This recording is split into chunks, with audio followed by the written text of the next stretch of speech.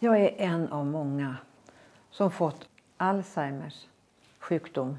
Jag kämpar med sjukdomen varje dag.